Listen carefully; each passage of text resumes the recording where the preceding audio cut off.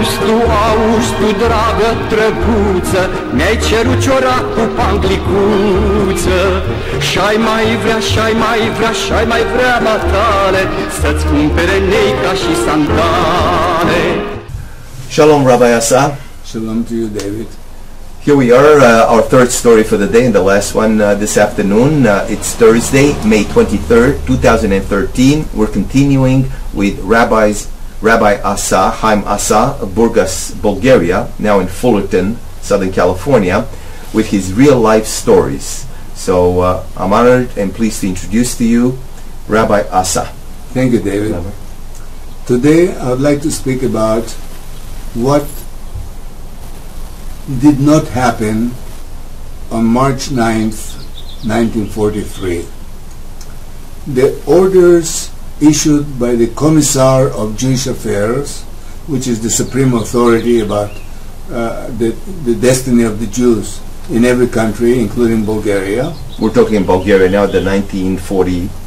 3, 43. The orders had come from the commissar. His name was Belev, and May he rot in hell. May he rot in hell. He was true fascist. He was trained in Berlin. He came back to Bulgaria, and he learned everything that there is to to learn about how to put the Jews together, uh, concentrate them, put them on the trains, and ship them to Poland. Well, what happened was that my father was the president of the Jewish community of Burgas, which is a, sm- a, a big port uh, about- on the Black Sea. right? And we had about 1,000 Jewish people in our community, and some of them were well-to-do, like my father. Some of them were poor as they come, uh, which was probably the majority.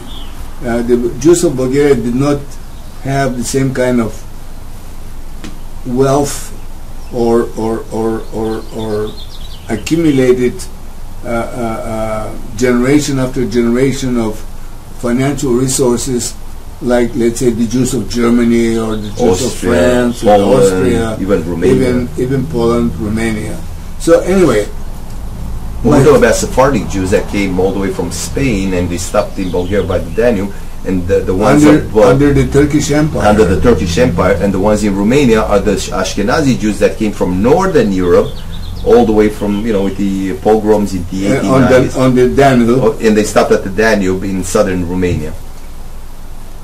the my father had I, I remember our big dining room table in the in in our Big apartment. very big apartment. A huge table. And my father had two lists A list A and list B and every Jew living in Burgas had to be in either this pile or this pile of names Sort of like a Schindler's list that he had to basically sacrifice people, but it was not the same thing with the working thing, but it was the list that he was commanded by Belev Yeah. to put make the list of the shipments of the Jews Yeah. from Bulgaria into shipments to Right. Treblinka, Treblinka. the worst of all uh, concentration camps. Correctly. If there is a, Yeah. a good concentration camp, Yeah. but this was the worst of the Well, worst. uh, Auschwitz was better than Treblinka because in Auschwitz you had a chance to survive to work by through three, working. four, or five months before Right. they killed you, or um, uh, you became initiated. And there were major but- industries over there, as where Treblinka had nothing. But in, in, in the Treblinka, it was straight from the railroad car To the chambers. to the gas chambers. Four hours, six hours, seven hours, whatever the interval was. This was the the, the schedule. so tell us Anyway, how this worked out. The, so my the father has two lists, and all night I remember people were coming. I was a kid of what, uh, 12. uh, 12. Uh, all night people kept coming to the house and saying, uh, Asa, uh, put me on the A list because my grandfather or my in-laws are going to be on the A list and I want to be with them. The A list was basically the first group, The half first of the group group. that would go to Treblinka, Yeah. and it would take a few more days Yeah, to ten, come back ten- from the 10 yeah, days. yeah, 10 the round trip between A and B. because they didn't have enough cars. So Okay, uh, some so- people wanted to be in the first group, the second So group. it's not that my father was cooperating with the with the with the uh, fascists.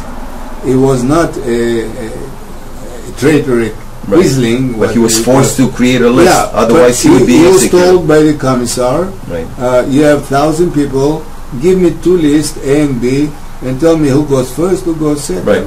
And there was very uh, little difference, uh, 10 days uh, basically apart. And But his efforts were to delay as much as he could, Of and course, to, you know, that, was- the plan was to save all of them, not to really send anybody. So how is this going to the picture with Now, uh, the Gentile that? Marika Kolarova, my father had a, a department store, Ma- Manufactura in Galanteria. What was the name of the store again? Uh, the Little Elephant, In Bulgarian? Malkoto Slonche. Malko to Slonche. There was a- There was a little little elephant um, moving its head all day because I was every the night key. I was turning the key and the spring. It's a, anyway. Was the elephant saying the yes person, or no? The person that managed my father's store was a dear, dear friend and a good Christian, Nacho, Nacho Kolarov.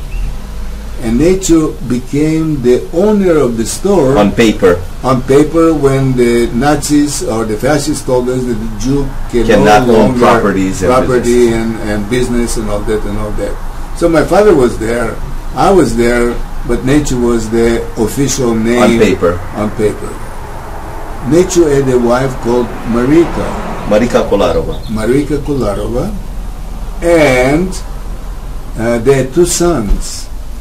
One son was wonderful, What's it, what are their names? uh, Stefcho, he became Stefan. Stefan. He became a veterinarian. I visited him a number of times in Burgas during the 70s, 80s, and 90s. Just like I visited Marika once uh, in 75 before she, Passed away. she passed away. And, the second son? And the second son was a fascist. Mm. The second son uh, wanted to be a pilot, and he was. What was uh. I don't remember. Okay. And he he, had, uh, he was in in in the Hitler youth movement uh, Right. of Bulgaria, the the fascist uh, youth, and uh, with him I never Kept in touch. kept in touch. So how did Marika No. actually help you? Marika was supposed to, and we lived like a block away from each other. Ours was a very big house. Hers, theirs was very, very modest, house.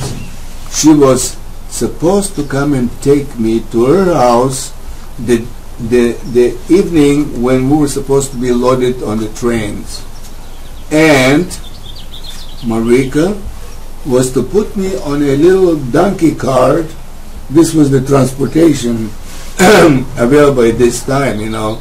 Sure, there was a couple of private cars in in in Burgas, but uh, this was beyond any. It has to be something very simple, Right. very Not to attract attention. exactly. And she was going to take me up the mountains to her village Into hiding, basically. in and to proclaim me as an orphan from the Și-ai mai vrea, și-ai mai vrea, drăguță Ana Ca să te îmbrac, măi, conă framă Să-ți cumpăr, să-ți cumpăr cercei, măi, Ana Dar eu n-am de unde, măi, coadană Auzi, dragă fata, nechi, dragă Aseară coliu tamiciană și acum nu-ți parale Să-ți cumpăr sandale Buzunarele sunt goale tale Mai afui trecuță Încă o băncuță Și băui în colituță Doamnă